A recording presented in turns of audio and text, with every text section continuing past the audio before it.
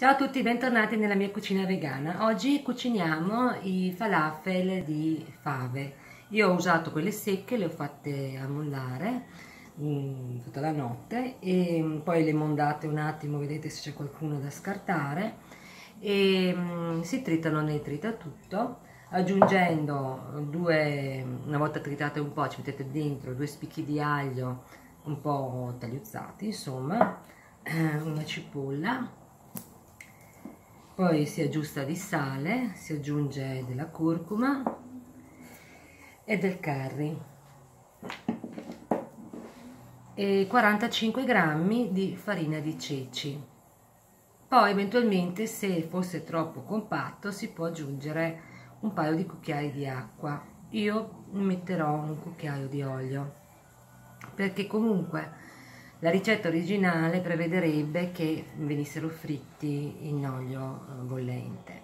Io, mm, siccome odio un po' la frittura, eh, li farò nella friggitrice ad aria oppure potete farlo se non ce l'avete nel forno. Quindi all'esterno metterò il pan grattato. All'interno quindi metto un po' di, di olio extravergine di oliva perché comunque darà un po' più di consistenza e di sapore quindi mettiamo tutto nel tritatutto e prepariamo la pasta. L'impasto vedete è molto morbido abbastanza morbido insomma e mm, le fave sono molto belle tritate. Adesso eh, faremo delle piccole palline.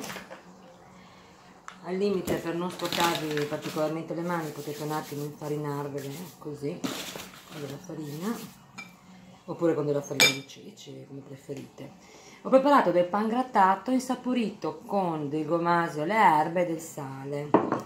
Poi noi queste le prepariamo e andrebbero sparate così direttamente nell'olio. Io, come vi ho detto, non amo particolarmente le cose fritte, quindi preparo queste pallette, questi falafel, così li passo nel pane grattato e poi li cuocerò via dal unto. Eh, nulla toglie che se volete potete farlo tranquillamente. Allora in quel caso insomma non passateli nel pan grattato, la ricetta originale dice di passarli dentro nel, nella farina di ceci. Ecco la ricetta originale del paese d'origine.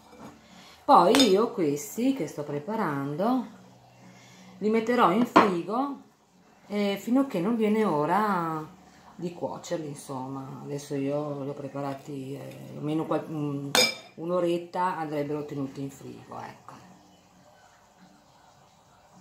Il risultato è veramente ottimo, come vedete, la cottura dal forno in questo caso nella friggitrice ad aria è bellissima e la, la grana è molto sottile internamente e sono veramente molto molto gustose volendo se siete un po' sensibili all'aglio potete invece di due metterne uno insomma però vi assicuro che sono molto saporite ma per niente pesanti